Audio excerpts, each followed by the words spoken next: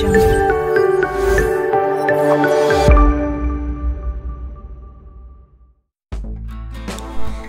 Hello അസ്സാമു അലൈക്കും welcome back to my channel. ഇന്ന് ഞാൻ വന്നിട്ടുള്ളത് ഒരു അടിപൊളി രണ്ട് ഡിഷായിട്ടാണ്. അപ്പം നമുക്ക് നേരെ വീഡിയോയിലോട്ട് പോവാം. ഫസ്റ്റത്തെ ഡിഷ് എന്താന്ന് വെച്ചാൽ ബീഫ് പൊരിച്ചതാണ്. സെക്കൻഡ് ഡിഷ് തൈര് വെച്ചിട്ടുള്ള ഒരു ഐറ്റമാണ്. അപ്പം അതിനായിട്ട് ബീഫ് പകുതി വേവിച്ചെടുക്കണം. വേവിക്കാനായിട്ട് ഞാൻ കുക്കറിൽ വെച്ചിട്ടുണ്ട്. അതിലേക്ക് ഇഞ്ചി വെളുത്തുള്ളി പേസ്റ്റും അര ടീസ്പൂൺ മഞ്ഞൾപ്പൊടിയും പിന്നെ ആവശ്യത്തിന് ഉപ്പ് ഇട്ട് കൊടുക്കുക.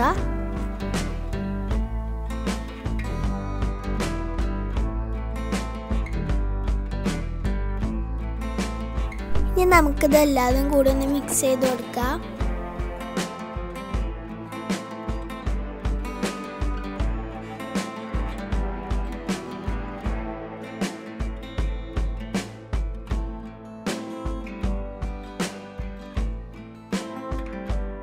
അപ്പോൾ തന്നെ പകുതി നമുക്ക് വേവിച്ചെടുക്കണം. ഒരു രണ്ട് വിസിൽ അത്ര മതിയാവും. അപ്പോൾ നമുക്ക് ബീഫ് പൊരിച്ചെടുക്കണം. അതിനായിട്ട് ഒരു ചീനച്ചട്ടി എടുത്തിട്ട് അതിലോട്ട് വെളിച്ചെണ്ണ ഒഴിച്ചു കൊടുക്കുക.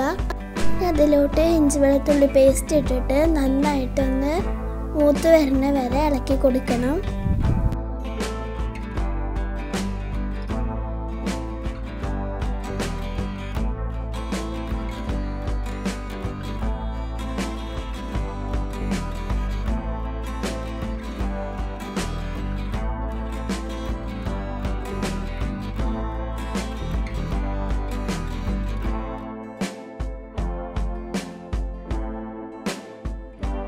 ഇനി നമുക്ക് രണ്ട് സവാള കട്ട് ചെയ്തതൊന്ന് അതിലേക്ക് ഇട്ട് കൊടുക്കണം.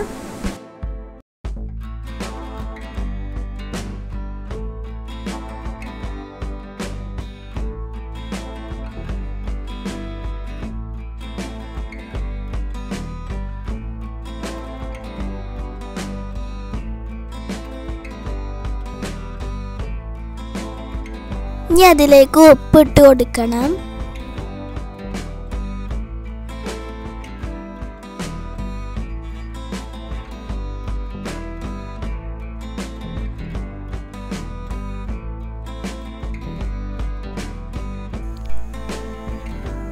ഇനി അതിലേക്ക് ഗരം മസാലപ്പൊടി ഇട്ട് കൊടുക്കുക.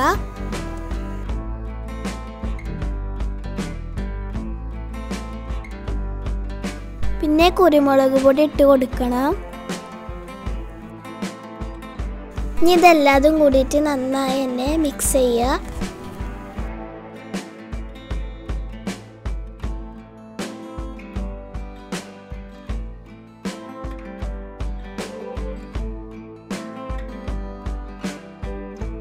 ഇനി അര ടീസ്പൂൺ മഞ്ഞൾപ്പൊടി ഇടുക. ഇനി രണ്ട് ടീസ്പൂണ് മല്ലിപ്പൊടി ഇട്ട് കൊടുക്കുക.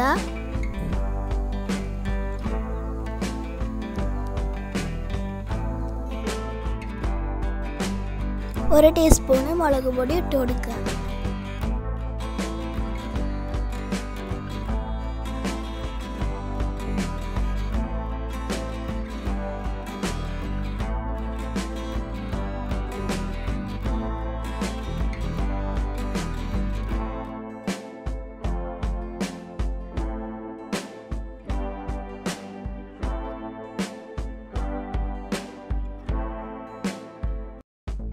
ഇനി വേവിച്ച് വെച്ച ബീഫ് ഇട്ട് കൊടുക്കുക. എന്നിട്ട് നന്നായി തന്നെ ഇളക്കി കൊടുക്കണം.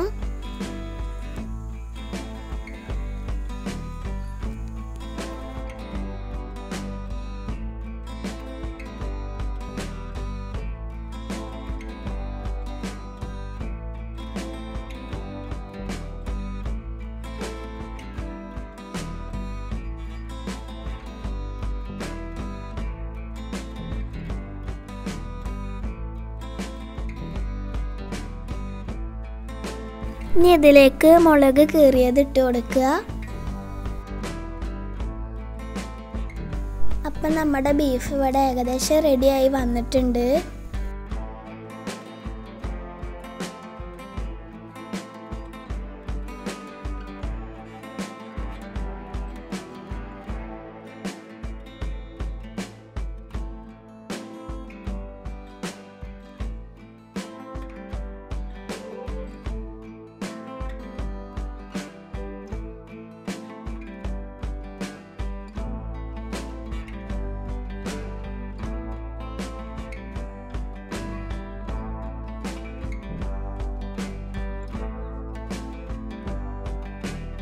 ഇനി ഇതിലേക്ക് കറിവേപ്പില ഇട്ട് കൊടുക്കുക.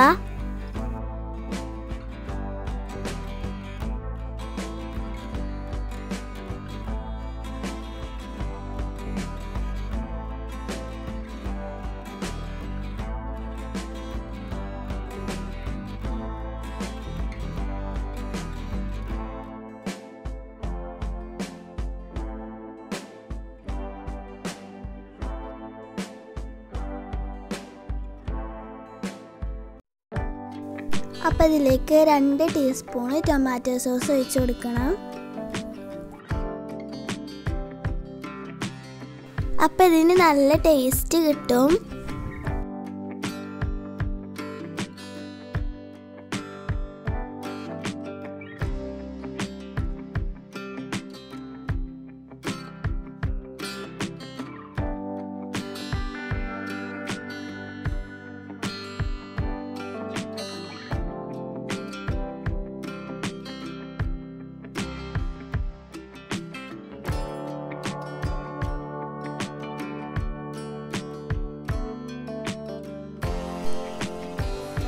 അപ്പം നമ്മൾ ബീഫ് പൊരിച്ച ഇവിടെ റെഡി ആയിട്ടുണ്ട്. നല്ല ടേസ്റ്റ് ആട്ടോ ഇത് കഴിക്കാൻ.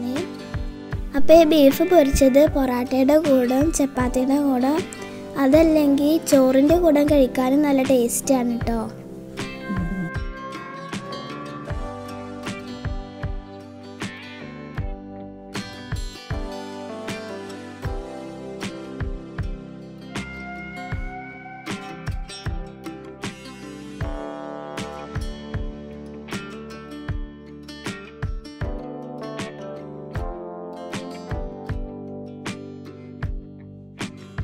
ചോറിന്റെ കൂടെ കഴിക്കാനായിട്ട് തൈര് വെച്ചിട്ടുള്ള ഒരു പുതിയ ഐറ്റമാണ് ഇത്. അതിനായിട്ട് ബൗളിൽ ഞാൻ കുറച്ച് തൈര് ഒഴിച്ചിട്ടുണ്ട്.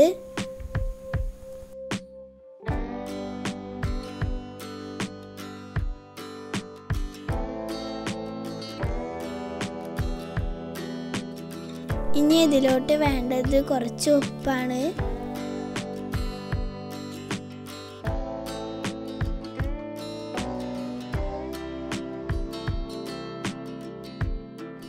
അര ടീസ്പൂണ് പഞ്ചസാര ഇട്ട് കൊടുക്കാം. ഇനി ഇത് നന്നായി ഒന്ന് മിക്സ് ചെയ്യണം. എന്നിട്ട് ഇതൊന്ന് മൂടി വെക്കാം.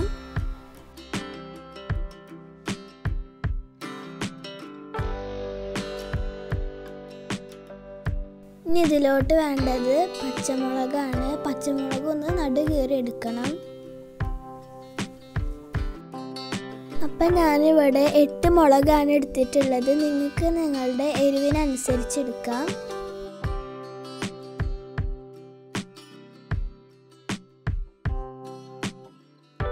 അപ്പോൾ ഈ ഒരു തൈര് വേവിച്ചെടുക്കുന്നില്ല. പച്ച തൈരിലാണ് നമ്മൾ ഈ ഒരു സംഭവം ഉണ്ടാക്കുന്നത്. ചോറിന്റെ കൂടെ കഴിക്കാനായിട്ട് നല്ല രുചിയാണിത്.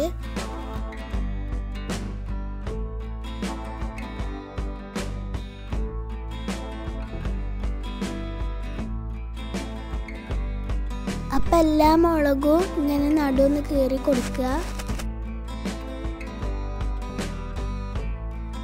ഇനി ഒരു പാൻ എടുത്തിട്ട് അതിലോട്ട് വെളിച്ചെണ്ണ ഒഴിച്ച് കൊടുക്കണം. ഇനി അര ടീസ്പൂണ് ഉലുവ ഇട്ട് കൊടുക്കുക.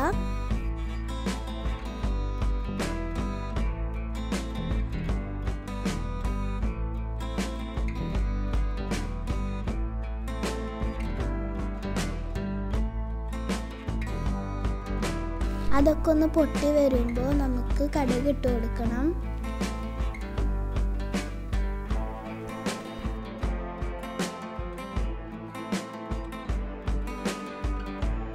ഇനിയാണ് നമ്മൾ കീറി വെച്ച മുളക് ഇട്ട് കൊടുക്കേണ്ടത്.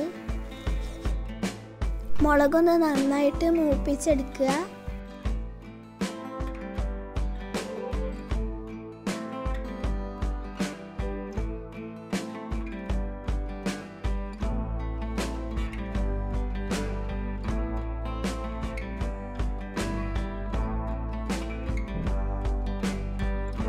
ഇനി ആവശ്യത്തിന് കുറച്ച് കറിവേപ്പില ഇട്ട് കൊടുക്കണം.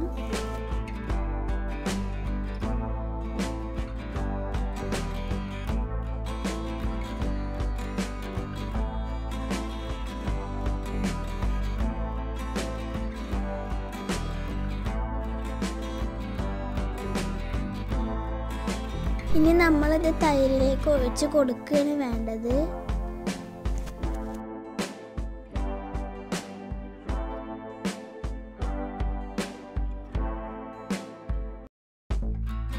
മൂപ്പിച്ചെടുത്ത കടുകും മുളകും ഒക്കെ ആ തൈരിലിട്ട് ഒഴിച്ചു കൊടുക്കുക.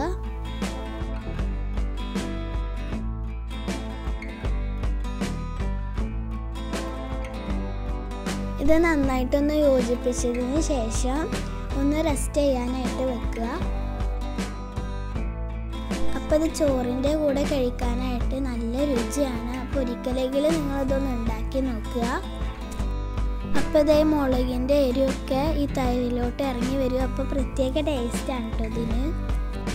അപ്പോൾ നമ്മളെ ബീഫ് പൊരിച്ചതും ഈ തൈരും മാത്രം മതി നമുക്ക് ചോറിന് കഴിക്കാനായിട്ട്. അപ്പം ഇനി അടുത്ത വീഡിയോ ആയിട്ട് വരുന്നത് വരെ എല്ലാവർക്കും ബബായ് ഓഡിയോ Jungle.